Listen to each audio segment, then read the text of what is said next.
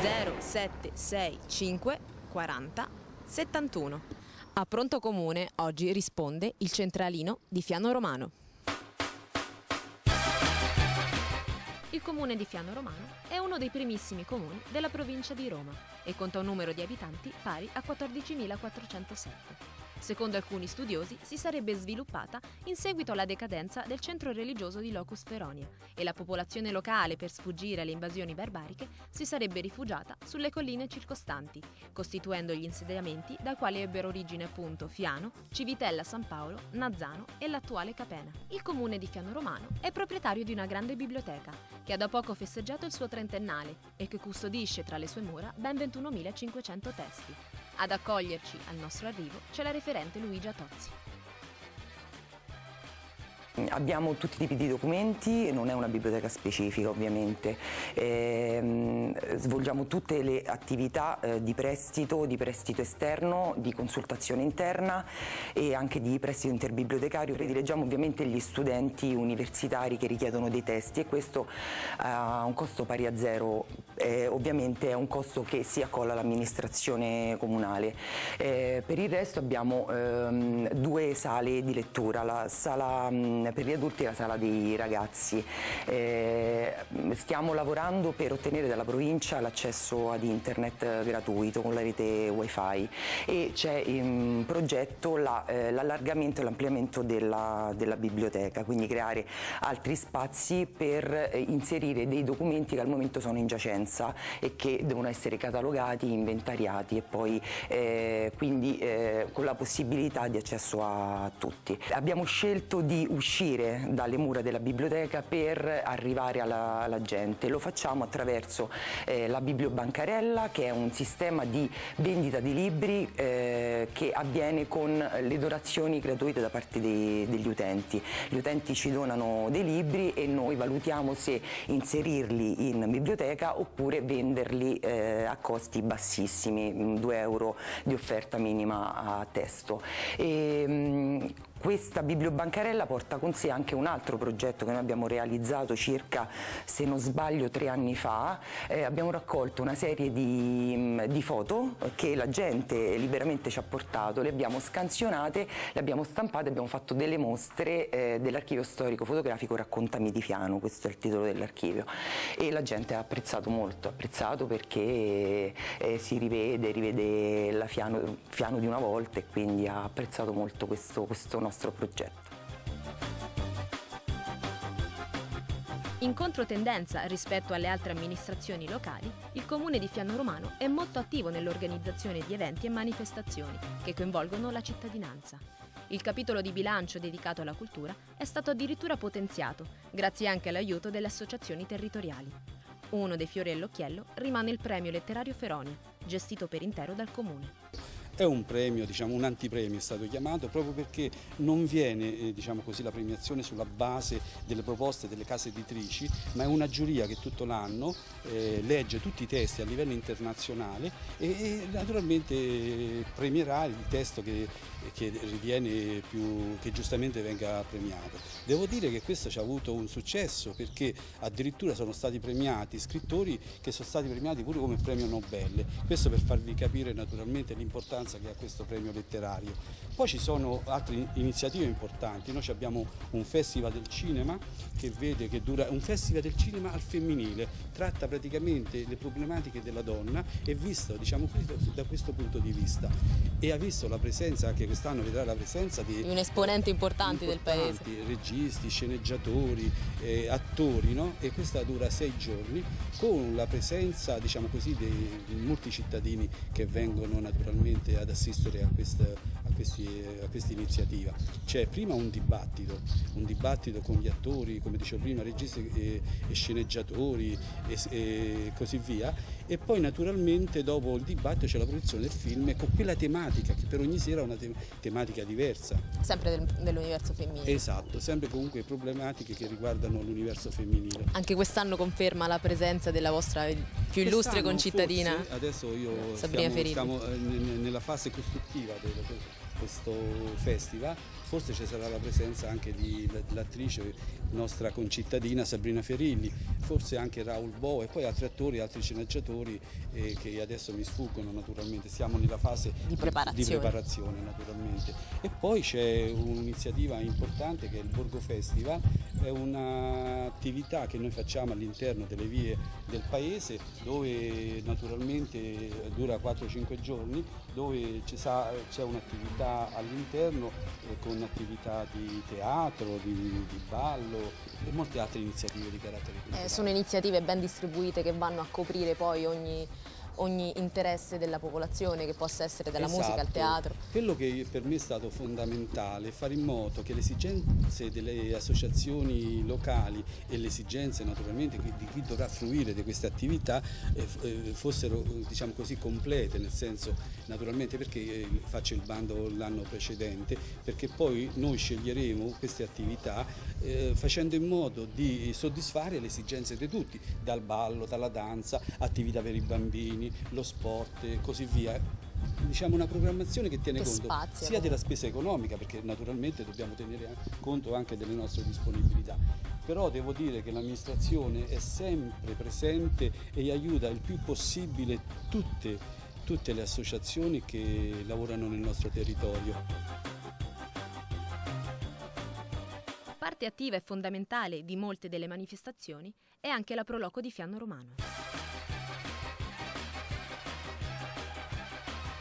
Signor Franco, mm, ci parli di quali sono le attività poi di questa Proloco e che tipo di rapporti intrattenete anche con le associazioni locali, con, eh, con le istituzioni? Diciamo che la Proloco di Fiano Romano ha una storia pluridecennale. A livello ufficiale è stata istituita nell'anno 1973. Fino a qualche anno fa, diciamo fino a circa 15 anni fa, l'attività della Proloco era rivolta all'organizzazione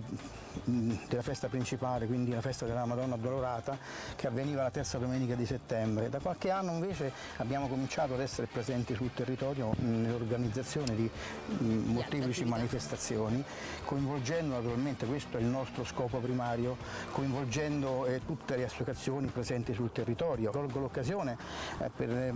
presentare il libretto del 170 anno della Proloco, l'anno scorso, quindi quest'anno siamo al 171esimo e sono manifestazioni imponenti con la presenza di cantanti, di gruppi musicali importanti, ma intorno eh, vengono condite con cose che riguardano i giovani, lo sport, i ragazzi, le scuole. La quarta edizione di Fiano in Festa sono tre giorni in cui ehm, tutte le associazioni, come ripeto, comprese le scuole, sono presenti in, questa, in questa, manifestazione.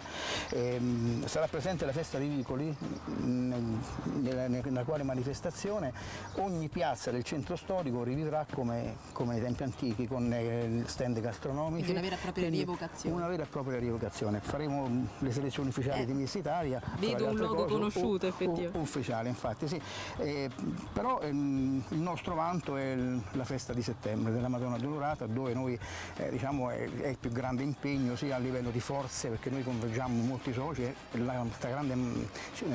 parte della cittadinanza contribuisce a queste cose che comunque coinvolgendo le associazioni vengono coinvolti i figli, vengono coinvolti i genitori, vengono coinvolti i parenti, le scuole di conseguenza c'è una partecipazione veramente di massa e di questo siamo, siamo orgogliosi. Come ripeto grazie all'avvento anche della nuova amministrazione del sindaco Torino Ferilli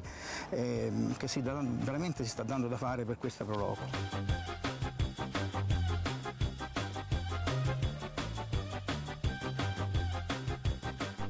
Il sindaco Torino Ferilli, in carica dal maggio del 2011, è contornato e adiuvato da una giunta molto giovane, la cui età media si aggira intorno ai 35 anni e che molto incide nell'approccio e nella gestione delle problematiche comunali. Abbiamo costruito un programma e il piano di mandato del sindaco che abbiamo approvato poi in Consiglio Comunale è un piano di mandato che è concentrato assolutamente su un aspetto importantissimo, su un valore fondante e fondamentale, quale? Quello di rimettere al centro della discussione, di rimettere al centro del dibattito il vero protagonista di una comunità che è il, uh, il, cittadino, quindi andare a ricoprire il più possibile a 360 gradi le sue eh, esigenze, le sue problematiche eh, ed ascoltare anche con attenzione, con, maniera, maniera, con un'analisi attenta, profonda eh, e soprattutto responsabile le critiche costruttive. Abbiamo da subito aperto un ufficio di relazione col pubblico che fosse un contatto diretto, servizievole e di ascolto soprattutto del cittadino. Eh, abbiamo lavorato fortemente, abbiamo voluto lavorare fortemente sotto l'aspetto della comunicazione e quindi tutto quello che è, anche perché un'amministrazione deve attualizzarsi e deve essere contemporanea con la situazione sia economica, sociale e col periodo storico, col periodo storico in cui si vive. C'è un vostro progetto molto importante, molto anche funzionale che è stato inaugurato da poco, Comunichiamo. Comunichiamo è sì, un progetto importantissimo di cui io ringrazio tutti coloro che hanno lavorato per dare la possibilità di arrivare a questo, dare la possibilità di non prendersi un, un giorno di eh, riposo al lavoro, di assenza al lavoro per comunicare un disagio che il cittadino vive per quindi recarsi all'ufficio competente del comune, ma avere la possibilità stando in macchina con un telefono eh, o stando a casa attraverso un tablet di comunicare un disagio, di fare una segnalazione al comune, questa segnalazione arriva a questa bellissima piattaforma, a questo eh, diciamo mm, all'ente stesso e viene poi smistato eh, agli uffici competenti e c'è sempre un contatto diretto con il cittadino che mette a conoscenza il cittadino stesso dell'evoluzione di questa sua eh, diciamo, segnalazione eh, dal momento in cui viene presa in gestazione fino alla risoluzione stessa del, del problema. Il cittadino viene avvisato eh, attraverso un'email, attraverso un messaggio che grazie alla sua viene innanzitutto ringraziato perché un cittadino che segnala una, a un'istituzione un problema o che viene a segnalare un disagio o una proposta bisogna ringraziarlo perché lo fa in maniera disinteressata per il bene della collettività. E noi da subito, dalla, appena ci siamo insediati, abbiamo capito che eh, i grossi problemi, anche iniziando le prime conversazioni, iniziando i primi incontri no? con, uh, che ogni sin un, un, sindaco oggi, ma come tutti gli assessori, fanno, svolgono quotidianamente, la problematica relativa all'occupazione non è soltanto un problema nostro, è un problema del nostro paese Italia. La disoccupazione che è arrivata al 40%, soprattutto uh, una disoccupazione giovanile, e, ehm, e, quindi ci siamo iniziati subito a muovere eh, sotto quell'aspetto. Abbiamo fatto un'iniziativa col Ministero dello Sviluppo Economico eh, dove abbiamo avuto l'onore di avere delle aziende importanti sotto questo aspetto, abbiamo avuto l'onore di avere il direttore generale che è Pietro Celli, eh, un, abbiamo siglato un patto d'intesa con il Ministero dello Sviluppo Economico dove abbiamo chiesto di aiutarci a creare uno sportello che abbiamo denominato Sportello Europa perché? Perché le aziende oggi vanno supportate, vanno assistite vanno aiutate sia sotto l'aspetto della burocrazia perché un'azienda che ha mille difficoltà non può andare a cozzare con la lentezza burocratica delle istituzioni. Quindi sotto questo aspetto per quanto attiene all'istituzione stessa. E poi aiutarli a supportarli su tutto ciò che è il contributo europeo, eh, il sostegno alle imprese, il sistema bancario, le banche devono essere assolutamente a sostegno e a supporto, le banche devono accompagnare l'azienda. E un altro aspetto importante di questo sportello Europa è l'internazionalizzazione del marchio. Made in Italy che è forte, il marchio Made in Italy che è importantissimo, cercare di accompagnare anche queste aziende all'estero, quindi prendendole per mano e abbiamo avuto in quella iniziativa importante anche la testimonianza di una società forte, importante, seria, italiana nostra, leadership in quel settore, che è l'olio Dante. L'olio Dante che ha spiegato quali sono le, eh, i fattori che influenzano e eh, che danno la possibilità alle aziende di crescere. Le aziende debbono crescere e crescendo le aziende avremo noi la possibilità, noi come comunità, di avere delle risposte sotto quell'aspetto lì che è l'aspetto occupazionale. Oggi la politica si deve occupare di, queste, di questi aspetti, questo Paese può ritornare a rialzare la china soltanto se iniziano a dare un ossigeno alle imprese serie.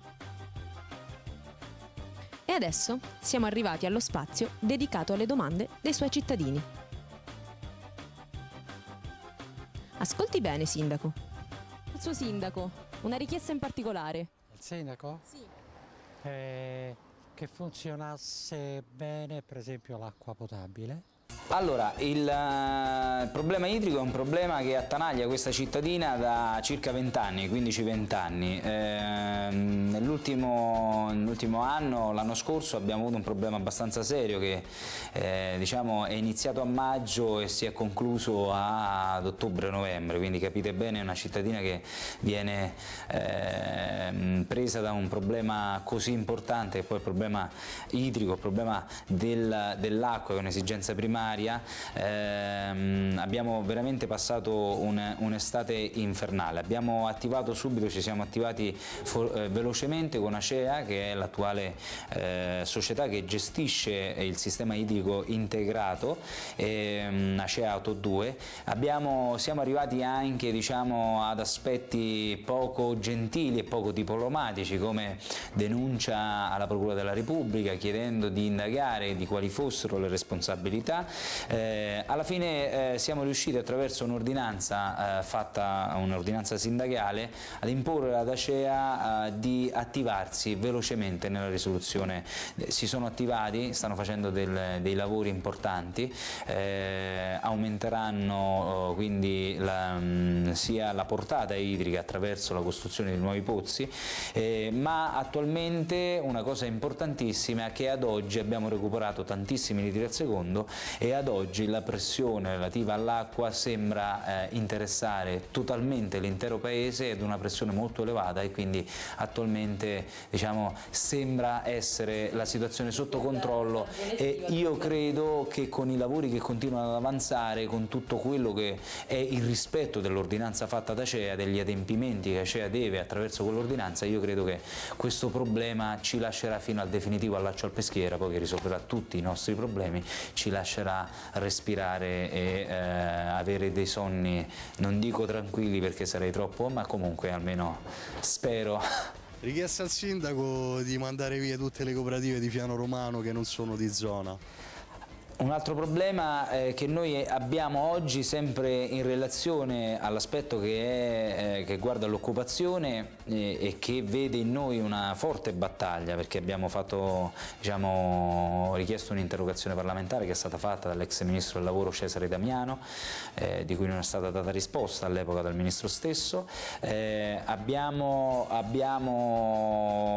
mh, mm, chiesto un'interrogazione regionale, eh, un'interrogazione Commissione regionale all'allora Presidente Renata Polverini, sempre sul tema delle cooperative spurie, delle cooperative illegali, delle cooperative che costringono eh, a, diciamo, i soci cooperativi a lavorare in condizioni vergognose, in condizioni che cancellano la dignità umana e i diritti, perché sembra, essere, sembra esserci questa, uh, quest, alcune sacche di queste uh, sintomatologie qui all'interno del comparto industriale che voi sapete essere in maggior parte eh, costituito da aziende logistiche.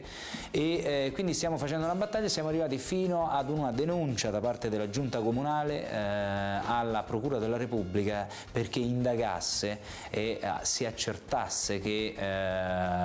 qualora ci fosse fossero delle, delle situazioni simili di eh, comunque avviare delle indagini importanti coinvolgendo tutti gli enti preposti in maniera tale da andare a debellare, in maniera tale da andare ad eliminare questo, questa grave patologia che veramente, voi sapete che quando si arriva a, a cancellare i diritti eh, dell'essere umano e del lavoratore capite bene che questo troverà di fronte sempre un'amministrazione compatta, schierata eh, e vogliosa cerca di risolvere i problemi in, a tutti i costi. Beh, è una bella sala prove per tutti i ragazzi in modo tale che la gente può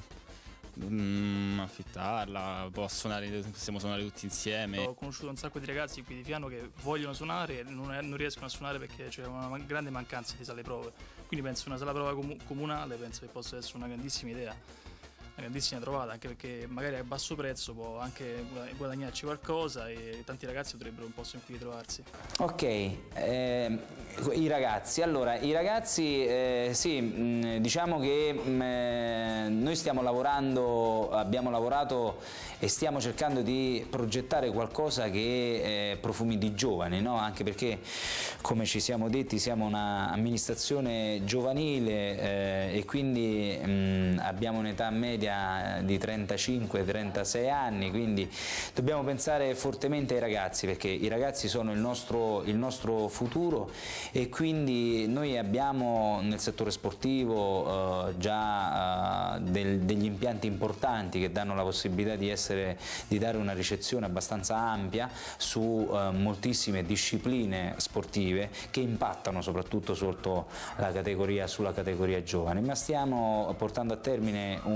un'opera un pubblica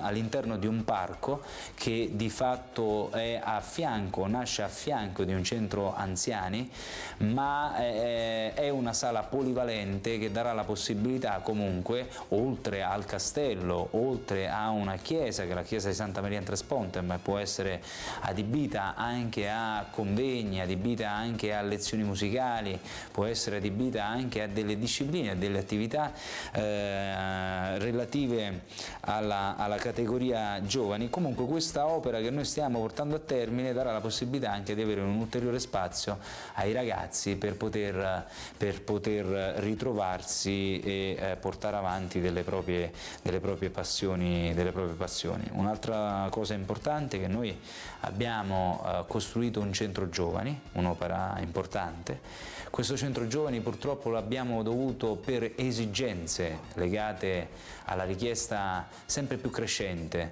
eh, di, eh, in relazione alla scuola materna, abbiamo dovuto eh, purtroppo, purtroppo, abbiamo dovuto eh, al momento temporaneamente eh, modificarla e renderla compatibile a questa necessità. Voi sapete oggi che per dare una risposta sotto l'aspetto della ricettività della scuola materna significa dare l'opportunità e la possibilità a entrambi i genitori di poter andare a lavorare. In questo momento così difficile sotto l'aspetto economico abbiamo ritenuto in maniera coscienziosa, in maniera responsabile, ma ascoltando allo stesso tempo sempre i giovani e rendendo sensibili i giovani a questo problema, quindi rendendoli partecipi, perché quell'opera era un'opera eh, che doveva essere eh, diciamo, diretta a loro L'abbiamo resi partecipi, i giovani si sono dimostrati molto maturi e responsabili hanno dato la possibilità all'amministrazione temporaneamente di girarla a questa esigenza. Comunque il problema eh, di eh, trovare eh, gli spazi ai ragazzi per noi non è assolutamente un problema, fa parte di una programmazione, una progettualità perché noi comprendiamo bene che è arrivato il momento di far prendere delle responsabilità, dare la possibilità a loro di crescere per, per formare eh, nuovi sindaci futuri nuovi amministratori futuri, nuove classi dirigenti futuri, nuovi amministratori delegati futuri, il futuro del nostro Paese. Cosa chiederebbe al Sindaco? Di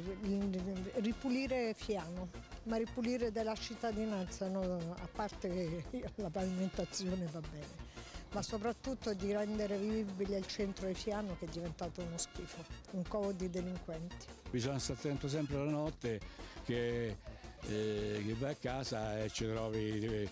ci trovi qualcuno dentro e ti minaccia. Tutti questi stranieri, nessuno gli richiama, nessuno fa niente e allora qui andiamo sempre peggio. Allora, il centro storico, ehm, per quanto riguarda il centro storico, ehm, la nostra programmazione nasce, eh, noi abbiamo voluto mettere all'interno del nostro piano di mandato eh, un'importanza eh,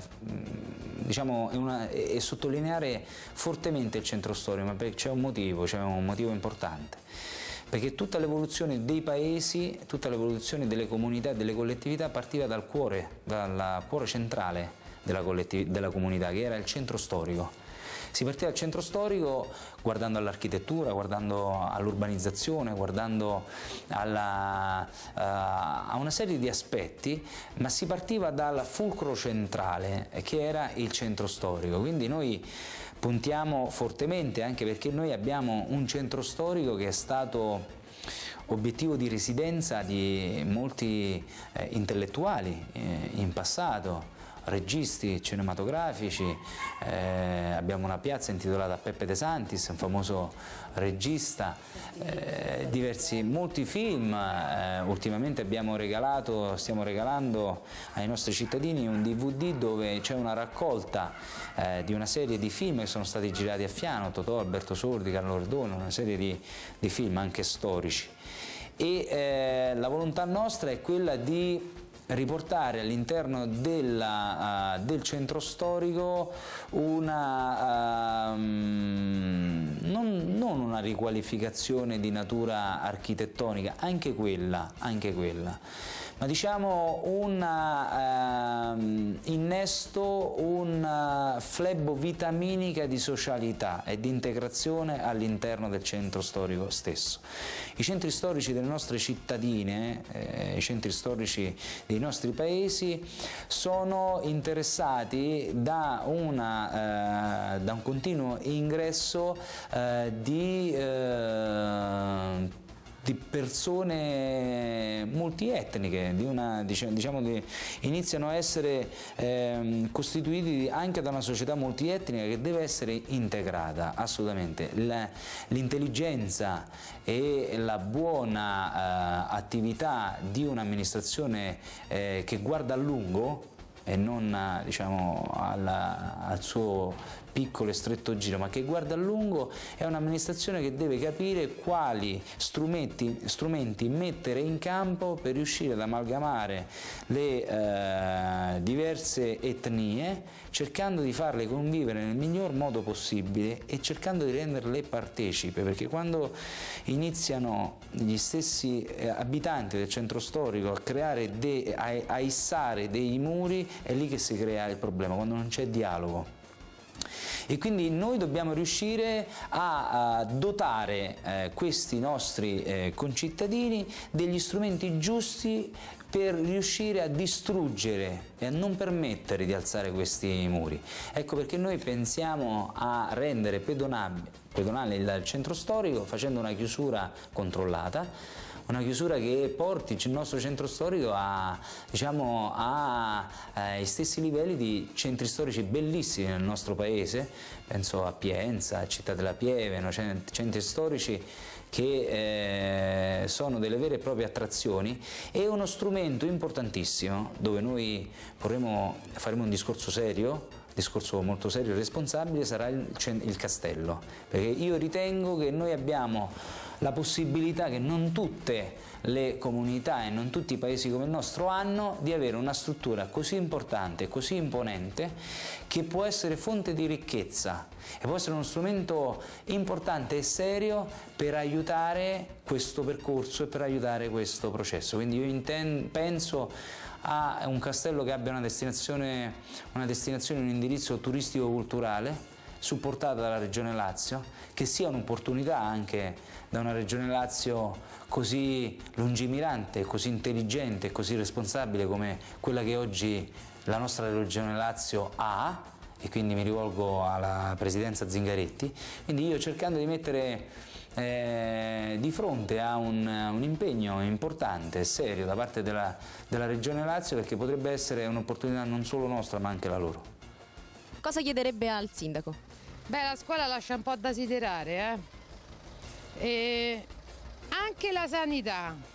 anche la, il servizio sanitario lascia a desiderare. Riguardo la guardia medica... Allora, per quanto attiene a questa domanda, ehm, noi eh, abbiamo una struttura, voi sapete che la situazione legata alla, al sistema sanitario nazionale è una situazione difficile, soprattutto nella nostra regione, la nostra regione che ha un debito gigantesco dove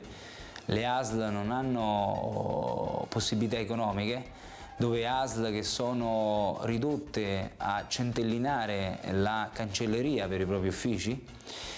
e noi abbiamo una struttura che poi è una struttura che è di proprietà totalmente dell'amministrazione del comune di Fiano Romano, messa a disposizione delle ASL, dove purtroppo ha chiuso un reparto che era il reparto della fisioterapia ed è chiuso da molti, molti, molti mesi, un reparto che era quello della fisioterapia che ero piccolino io, quando esisteva a Fiano Romano, è stato chiuso e eh, dove diciamo, la postazione relativa eh, diciamo, alla guardia medica è una postazione che non è attuale con le condizioni a mio modo di vedere che eh, debbano essere consone di, una, eh, di, un aspetto sanitario che sia aspetto sanitario che sia assolutamente ehm, buono per il cittadino che ricorre, che ricorre adesso. E quindi eh, noi abbiamo pensato anche che in questa situazione credo che l'amministrazione comunale debba assolutamente intervenire, debba assolutamente intervenire cercando di sopperire a quelle mancanze che oggi la sanità eh, locale e provinciale e regionale ha. Noi abbiamo, eh, stiamo progettando e stiamo raggiungendo un accordo per un intervento pubblico-privato dove ci darà l'opportunità, la possibilità di aprire una farmacia comunale eh, H24. Aprire una farmacia comunale H24 significa essere eh, una farmacia pilota per tutte le realtà limitrofe alle nostre, per tutti i paesi vicino ai nostri, perché comunque il primo, uh, distretto, diciamo, il primo sito farmaceutico aperto H24 è a Roma, a Corso Francia, quindi darebbe la possibilità anche agli altri comuni di attingere. E in questa struttura dove noi apriremo questa grande farmacia comunale avremo la possibilità di ritagliare anche uno spazio eh, per ospitare eh, la guardia medica e non solo, cercando di dare anche la possibilità a eventuali specialisti di offrire un servizio importante alla nostra eh, cittadinanza, servizio che noi comunque sotto l'aspetto sanitario espletiamo da moltissimi anni perché siamo stati comune pilota per il servizio infermeristico eh, dove infermieri si recano facendo una domanda ai nostri cittadini a casa eh, e espletano le cure eh, dovute. Abbiamo approvato pochi giorni fa, un,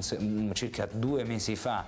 un servizio che permette di assistere gli anziani soli, di assistere tutte quelle persone bisognose che non hanno la possibilità di recarsi dal medico per prendere, per ritirare la, la ricetta e per recarsi poi in farmacia per prelevare i farmaci, c'è una cooperativa di giovani ragazzi e che eh, espleta questa funzione, questo servizio del tutto gratuita per queste persone bisognose. Comunque, anche questa è una tematica importante, noi abbiamo toccato delle tematiche che sono serie, importanti, dall'occupazione alla situazione economica e per finire all'aspetto sanitario che anche esso è un problema serio che deve porre diciamo, grande responsabilità e grande lungimiranza alla classe dirigente attuale, sia amministrativa che politica.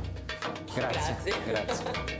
Beatetura che Alessandro, illuminato da Cristo, viva sempre come figlio della luce e perseverando nella fede vada incontro al Signore che viene con tutti i santi nel regno dei cieli.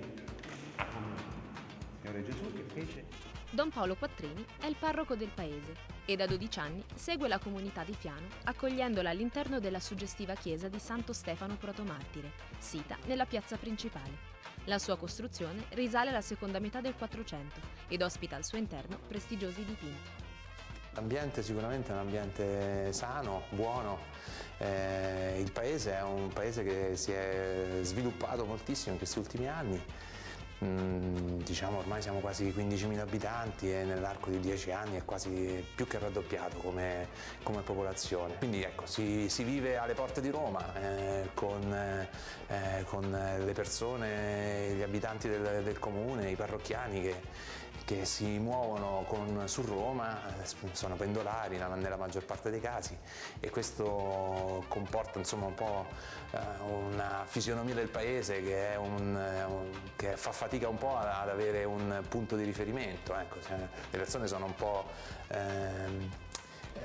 su vari fronti, no? sono impegnati in vari, in vari, momenti, anche i tempi che hanno a disposizione sono sempre, sempre, pochi, si fa sempre un po' di corsa, però l'ambiente mi trovo bene, si lavora bene, vedo che le persone rispondono soprattutto quando la proposta che si fa è una proposta che, che, la, che interessa e che è una risposta anche alle esigenze e ai bisogni della, della gente di oggi. La nostra passeggiata a Fiano Romano finisce qui, ma prima di salutarvi ricordatevi che... Senza lille rinse l'allera. che non potete andare via senza aver assaggiato i biscottoni casarecci, senza assaggiare l'ottimo olio degli ulivi di Fiano e senza aver assaggiato le deliziose fregnacce alla fianese di Sorgina. Ciao a tutti e a martedì prossimo.